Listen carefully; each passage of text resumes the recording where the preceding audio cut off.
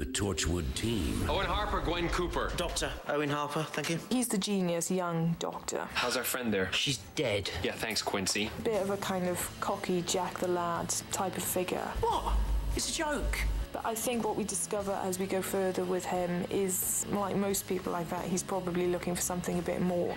Marvellous. Thank you for that Disney moment. Now, who's making the tea? Torchwood. Series premiere next Supernatural Saturday at 9 on BBC America.